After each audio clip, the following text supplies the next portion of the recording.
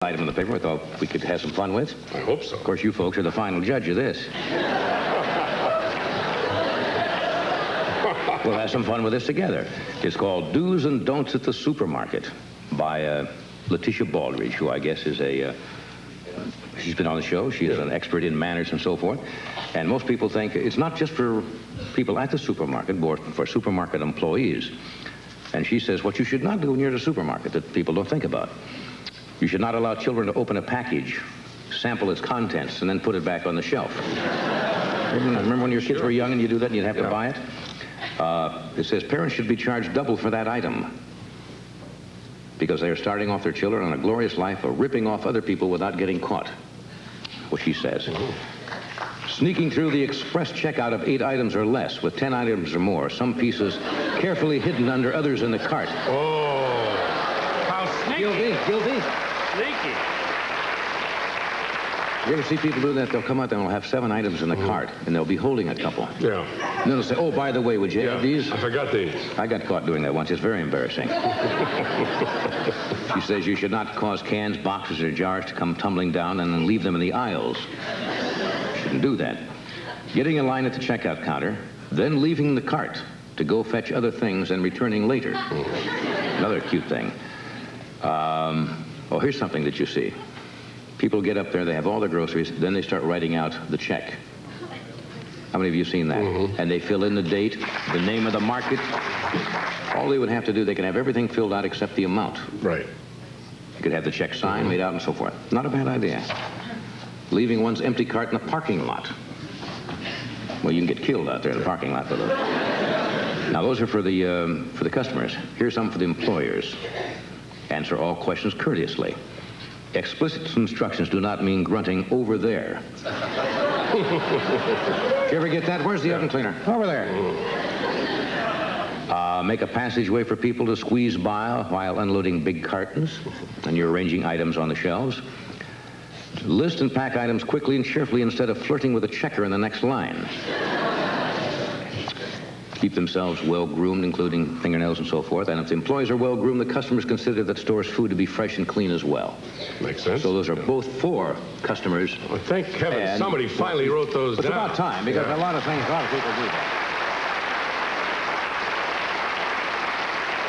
Very important. I mean, people have been shopping since they were old enough to walk. Since they were market. As soon as you're hungry, you know how to go shop. And it's good that somebody finally put it all together. That's true. A nice compilation, I'd say. Mm-hmm. Gathering all the rules together. Every single rule you'd ever want is in those three pages. Well, you are wrong, rancid bacon breath. Oh. Oh. There are others? Those are obvious. Yeah. Any fool, can, I don't want to say Miss Baldrige is a fool, but anybody can put those together. Here's some that, uh, She neglected. for supermarket shoppers. Do not try on pantyhose in the checkout line. While on the checkout line, please don't place your dentures on the conveyor belt. Don't weigh your undiapered child in the vegetable scale. I've seen that in Yeah, that's. It is not considered good supermarket etiquette to bowl a cantaloupe into a Gatorade display. if you are a proctologist, trust the butcher when he says the chicken is in good shape. Do not insist on examining the bird yourself. Don't hop up in the Trac II razor display and shave your legs. Bad taste. Do not, I repeat, do not drink a case of beer and then try to do the Vivital absorbency test.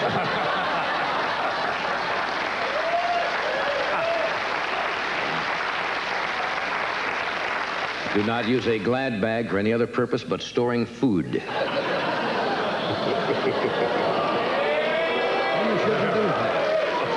Okay, now here are some etiquette rules for employees. It is impolite to laugh openly at shoppers who suffer nervous breakdowns at the meat counter. Wait until the store closes before staging a food fight. Don't rig the automatic door to see how many little old ladies you can flatten.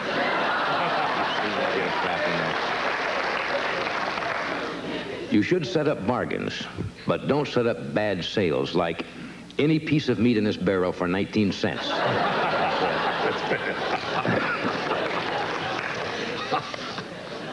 Personal hygiene, of course, is important. Go home and take a shower if the fruit flies have abandoned the melons and are circling you. If a customer dies in the store, phone the morgue immediately. Do not stack the deceased in the frozen vegetable case. Here's something that uh, they do. Do not take your price stamper and raise the price more than three times while the customer is online. Be courteous. It is embarrassing to thump a pregnant woman's stomach to see if she's stealing a watermelon. Du- double saver coupons should not be traded for one night stands. Bad taste. Don't play games. Never hide under the bananas and wait for a shopper to pick you. Bad taste.